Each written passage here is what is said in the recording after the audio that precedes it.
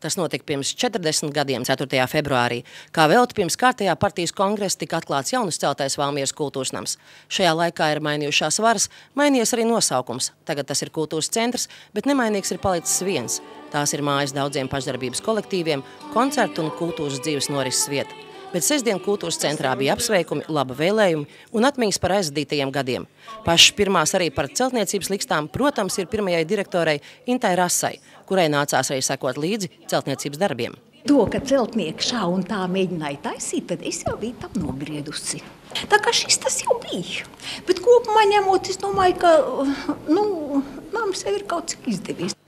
Aizvadītajos 40 gados kultūras nam īsāku vai ilgāku laiku vadījuši astoņi direktori, un katram jau ir savi atmiņu stāsti, arī par to, kā nācās strādāt vēl padomi laikos. Es jau piedzīvoju tās varas maiņas un tos atmodas laikus, un tas bija baigi interesanti, ka tev tas viens karoks un tad bija otrs, un, un tas viens bija jāliek šitā, kā šodien atceros. Bija kaut kāda komunistiskās partijas kaut kāda konference, un tur, man liekas, kaut kāda veči brauc pat no Maskavas laikam. Un, eh, un tad mums bija strīds, kurā pusē karoga likt. Vai viņš bija labā pusē vai kreisā pusē, bet tajā pusē viņš neizskatījās. Man teica, partija saka, jāliek tai pusē, bet es neliku. Es noliku otrā. Tad... Protams, bez kurioziem jau kultūras darbinieki ikdienā neiztikt, bet kā galvenā vērtība, kas saglabāta un kopta visus šos gadus, tagad tiek vērtēta visai plašā pašdarbība. Arī tas, ka nu jau uz kultūras centru nāk jaunas paudzes un arī tie, kas te kādreiz bija. To, ka pašdarbnieku dzirksts paliek spēkā arī gadiem ejot, apliecināja arī bijušais kultūras nama direktors Visvalds Tīlips, kurš jubilejas reizē atcerējās savu laiku estrādes ansamblī Kvelde. Nāca līdz, mana dzimtenes meitene teica, draugs tu mans,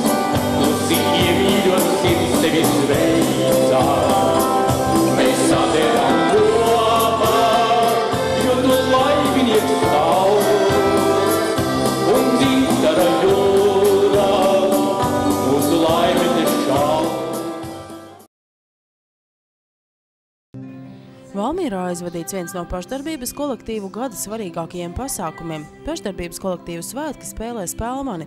Tajos savu sniegumu rādīja visi kultūras centra kolektīvi.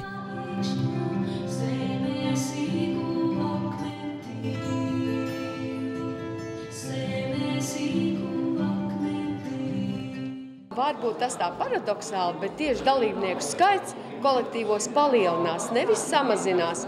Tātad būtībā varbūt šajā grūtajā dzīves brīdī, vēl kamēr krīze nav mūs, kā saka, atstājusi, cilvēki varbūt meklē sevis izteikšanu vairāk mākslā.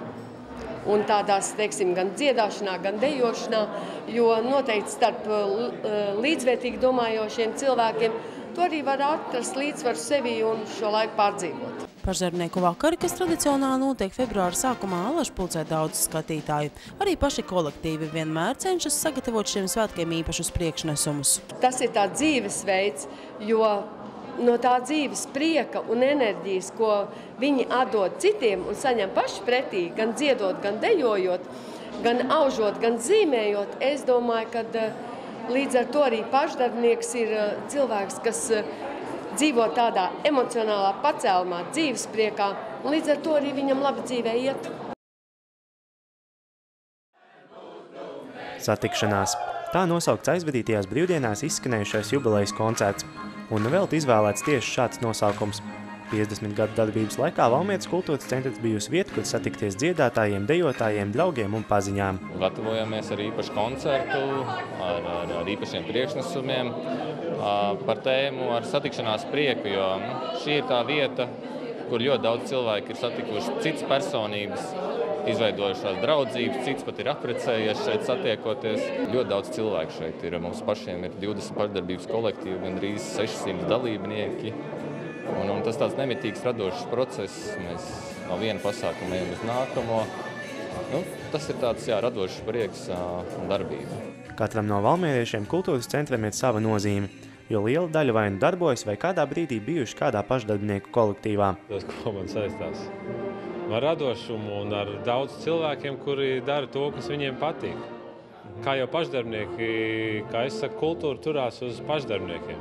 Kultūras centra dzimšanas diena ir svētki visiem, gan darbiniekiem, gan kolektīviem, protams, arī to vadītājiem. Valmieras kultūras centrs man saistās ar labiem nama saimniekiem, ar aktīviem kolektīviem, ar bagātu kultūras dzīvi, ko kuplina ne tikai vietējie, bet arī visas Latvijas kultūras cilvēki. Katrs kolektīvs ir ar izdomu, ar atjautību un ar tādu asprātību un arī ar nopietnu mākslas piešķirts ir vienmēr pieiet šim nu, pasākumam. Mans novēlējums ir, lai veicās labi nākotnē ar uh, paredzēto rekonstrukciju, kas varētu šīm telpām iedot vēl jaunu sparu, jaunu elpu.